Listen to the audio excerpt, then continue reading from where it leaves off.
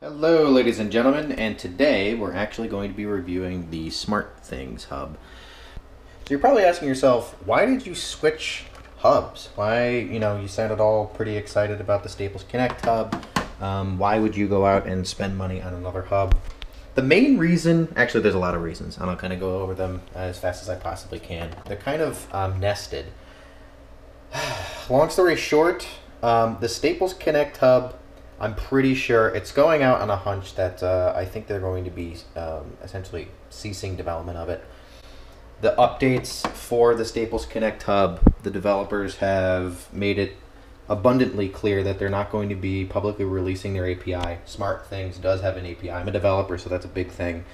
Um, based on the things that you can do with it you know, people think of APIs and, and coding things and whatever, and, and you have to have, you know, some crazy, you know, in-depth knowledge about developing and programming and everything else, and it's really not that bad. But what it does, what an API does allow you to do, uh, for the people that don't know, is it allows you to create applications that can integrate directly with your home uh, devices. That's actually a whole separate project. I might actually go over that if people want to hear about it or not. They they're locking at the API. Um, I haven't seen many updates for it, if at all, at this point. You know, I have my own personal gripes with it, but the biggest glaring issue is the API. The other glaring issue is going to be the responsiveness of this device. The latency involved with um, pushing a button on the Staples Connect app on my iPhone versus it actually going through and connecting with my lights and everything. Biggest thing with latency for me was sitting in bed bringing my iPhone out, turning on my bed light, dimming the light, which was great, and from there, you know, turning off the thermostats or at least setting them down, all for my bed, which was great. Turning off the other lights, locking my front doors, um, and it's great. I mean, it does all of that great. What it doesn't do is it doesn't do it cleanly. And what I mean by that is there is a huge delay between tapping the app button, actually logging in. It has to log in twice which I never understood. It has to go out to the Staples Connect servers, log in, and then it actually logins with your account. So you can actually you wait for this little spinning icon to settle itself to finally gain access to your hub. SmartThings Hub, a lot of things I actually like about it. First of all, is it actually has batteries in it, uh, double A's. I believe there's four in there. what that obviously does is it acts as a miniature battery backup in the event of power failure. There has been a couple times where I've just haven't been able to connect to the hub at all. The application is very responsive um, in comparison to the to the Staples Connect. It's obviously very small. You're not going to have any issues with putting this around other devices. Um, it does get a little warm, um, but by no means is it hot. That's pretty much it. Let's kind of go in the app and I'll kind of go over the features and what I have my house set up to do. Okay, let's fire up the app. And that's pretty much it. Um, for me, it loads that fast. I want to say 9 out of 10 times. Sometimes I do get a twirly loading thing, but it usually loads extremely rapidly. First thing that you see when you log into the Smart, uh, Smart Hub app is all of your devices, or things as they call them. Um, I got my thermostats, my patio lights, down to my Christmas tree, which is a, um, a wall outlet essentially, and even my desk lamp, which is a GE Wink bulb. And everything down to the dimmer. I'll slide that down and you can see it dims. It's really nice. It's very fast too. So I'll turn that back up. Oops. And obviously you can turn it off. And I have it set to fade, turning on and off, which is really great. That's something that the Staples Connect doesn't offer. It doesn't allow you to fade turning on and off the bulbs, um, let alone have this really nice kind of UI to control the bulbs to begin with. While it does connect to them, Smart Hubs totally blows it out of the water in terms of being able to more identify, uh, better identify, I should say, these bulbs and connect with them. Other big great point for this that I love personally for me being a, a hound of data is it logs literally everything. You can find out everything from on a device level if you want to go crazy. If you have kids um, and the kid says, "Hey, I didn't turn on the Christmas tree um, this morning," and you want to see if they're lying, you could go down to your Christmas tree, go into recently and it will pull up logs of when it turns on and off. The really great thing about this is it also um, it, it will obviously clearly show you when it goes on, when it goes off based on the time of the day. The biggest part that I love about the Smart Hub is got to be the smart apps. If you use them correctly, as in they're set automatically. You actually making your home automate itself for you. You're not going in here and using the app, and that's what I've essentially been trying to tell everybody that there's a big difference between home automation and home controlling, you know, wireless controlling with your phone. And I do a mix of both, but I, what I feel like, and definitely with main media, is it's confusing the two as being the same thing, and it isn't. The wireless controlling is essentially me going in here, finding my, you know, my desk lamp and, and controlling it manually. You know, that's wireless controlling. It's very nice. You can set this up as like, you know, maybe if you have like an old iPhone or something, make a nice little wall um, fixture for it and actually turn it into like a tablet for that area or just an area so you can control the whole house from there. You can do that. That's a nice wireless controlling thing. The smart apps of Smart Hub is really where the automation part starts kicking in uh, for me. And it, it was a very big realization of how crazily nested and intricate that this could potentially get if you wanted to go crazy with it. so diving right into it, I think one of the best things that I love is got to be the smart lighting. Um, they really did think this through. The UI of how you set this up from from device to device, uh, how it goes on, how it goes off, the conditionals, the if and this, uh, if thens and elses um, kind of situations with it is a really great way to do it. And I feel like this is going to be used with a lot of people that are not technically inclined, and it's definitely geared towards that crowd. So for perfect example, in this, I have my back patio light uh, turning on at sunrise, which automatically updates um, you know, based on you know uh, my location and daylight saving time. I have it also turning on my Christmas tree at sunset and turning on the front porch light at uh, sunset as well. So they both go on, and then turning on and setting the level of my living room floor lamp because it has a GE Wink bulb, which it works perfectly with.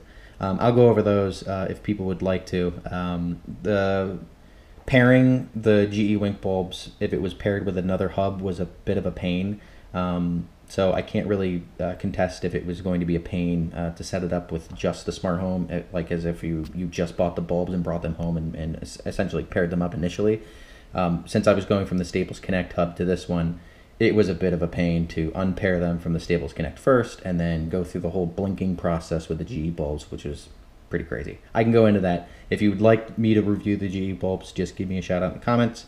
The other great thing about Smart Apps is it does have, I want to say, uh, semi control over the Amazon Echo. And I was very excited to get my Amazon Echo because I thought I was going to be uh, fully uh, integrated with all of my uh, devices in my house, including my thermostats. The Amazon Echo, however, did not detect. There's this whole crazy detection phase that you have to do with your Amazon Echo to identify your list so you can control them with your voice. Um, and I was really excited about this. One of the main reasons why I bought my Echo, and I'm actually kind of disappointed that it doesn't, it isn't there. Um, they are promising for a lot of software updates, but just like with the Staples Connect, we know that sometimes can go nowhere. So in this list, you have my back patio light all the way down to my living room floor lamp. Um, you can tell Alexa, Amazon Alexa, I know this isn't a, a review of the Echo, um, but since it is related to my home automation and the smart hub of how it integrated, I'll kind of go over the basics of it. But you can tell Amazon Alexa, the living room floor lamp, um, Alexa, dim living room floor lamp to five. And she'll say, okay, like really awkwardly, but will immediately dim that light to, to 5%. You do the same thing with any of the, the lights, the front door. The other thing you can do with smart apps is you can automate a bunch of things with a tap of a button. Another great thing that I like um, about the Smart Hub versus uh, the Staples Connect is the fact that you can create very specific um, settings. So, a perfect example: if I'm going to bed every single night, I turn my um, my thermostats down to 64, uh, whether it be in the bedroom or wherever else what we could do is instead of going into the, I'll show you what it looks like before, instead of going into the thermostat manually, going to this screen, taking your bar, dragging it down to where you want, you know, selecting heat or turning it off or whatever, you can create a smart app to automatically do all of that uh, by itself in this little list. So you'd fire up the app, it would go here, tap in smart apps, I can tap that, it'll automatically set my thermostats um, to 64. I have it named uh, 70 degrees, uh, but I recently just changed that to 64, as you can see here. But it's very intuitive. I can create, um, I can add multiple thermostats, as you can see here, first floor, second floor in the bedroom. I can have them all do the same thing if they're going to be turning off. Um, you know, you can set your different modes for it and everything else, away, home, and night, uh, depending on uh, what kind of thing that you want to designate with the apps. Um, I'm not going to go crazily involved with this because it can get very nested. Um, and what I mean by that is the next phase uh, called routines. I have the bedroom lamp on and off. The reason why I have it as a routine is because the bedroom lamp, um, I want it to be specifically turned on and turned off at a uh, dimming level. And I, I love the size of these buttons on the routines rather than going into, um, where is it, smart apps. Made a quick mention about this before, but I love data, and Smart Hub does not underperform when it, in regards to being able to report of everything, uh, turning on, turning off, setting, uh, whether it be automatic or manually adjusted. Like I said, the difference between manually controlling it um, with your phone or it automatically happening with you know sunrise, sunset. Um, if you have different sensors, you can set up conditionals. So you know if it's 70 degrees out, turn off the you know heater in the in the patio. I mean, I have a, I have no idea. You can you get the gist. The great thing about this is, like I said before, you could find out um, when things happen. Um, really cool thing is it kind of bridges out of just the home automation switches and it integrates your phone directly. Um, Brian's iPhone has arrived home. You can set that up as a conditional. So when I set when I come home, when I have it uh, set as is I you know come home into my car, whatever, automatically turns on the front light porch, unlocks the front door, and turns the um, living room floor lamp to five percent and sets the thermostats. It's like unbelievable. I don't even think about it anymore, you know. And the greatest thing was is going on top of that is I've actually been able to track and report the amount of energy savings, and I'm down like 23% because of this automation. You know, whether it be forgetting to turn off light bulbs, it doesn't really matter for me because all of my light bulbs are, you know, either G Wink uh, LEDs or Cree um, LED bulbs. But going that extra mile uh, and and essentially automating this so that you know you don't forget, uh, you know, to turn things off or turn them on or um, you know, if, if you're leaving for work um, and you want to have automatic things happen, perfect example is if you have like a slow cooker and you want to, you know, start slow cooking something that you set up before work. They do make Z-Wave controlled slow cookers, but I thought it was kind of uh, funny. If you got an old manual slow cooker, what I found out to do is just get a Z-Wave switch, throw it on the switch, set your slow cooker, and then you can actually go in here and then turn it on uh, remotely, and it's brilliant. it's really great. Wife loves it. The marketplace is a little bit different. Um, there's a lot of different things that you can do um, with the smart apps, um, setting you know climate controls, health and fitness, and everything else, depending on uh, what you want to do. I thought a very different approach, a very uh, smart approach that they're that they're doing is elder care. I thought this was brilliant. Um, and you can obviously read all through this uh, if you have a smart home hub. But just to give you an example, um, I'm in the marketplace right now in the application, and underneath smart apps, you can actually set up a lot of predefined things depending on what you want to do. Um, presence modes, like like I was saying before, if I came home, you know, turning on the lights, unlocking the front door, uh, music and sounds, you can actually uh, control your Sonos for whatever reason, I can't control my um, Alexa application through the Smart Hub app. Um, kind of bummed about that because it would be great to just have like some crazy jazz music play in the mornings by itself. Uh, I think that would be a lot of fun.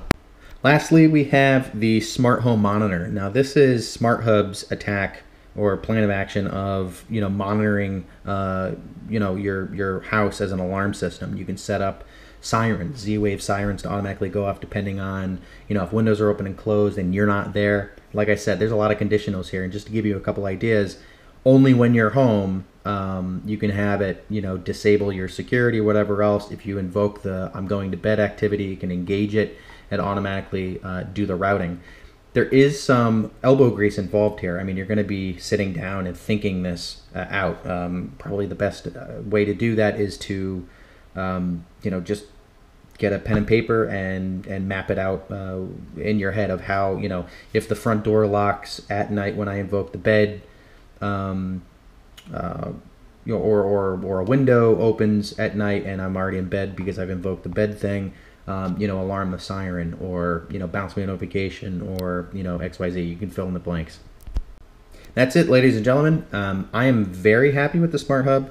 I think it's backed um, clearly by Samsung. They got some money they're throwing at it. They're doing a lot of updates. They're taking it seriously. Fortunately for the Staples Connect, I, w- I loved the Staples Connect uh, when it came out. It was my first hub, so obviously I was pretty married to it. Did a lot of research with it. Um, read a lot of really great reviews about it as well. But nobody really went through it uh, and took the time to to give you a, re- uh, a, um, a video review. And that's essentially what I'm doing here with the Smart Hub versus the Stable Connect. I'm trying to, to review them both after having used them for uh, you know months on end already. Hope you liked it. If you liked it, subscribe, like it, comment below. If you want me to kind of go over any part of this, just let me know in the comments and I'll take the time and, and reply to you. Anyway, toodles.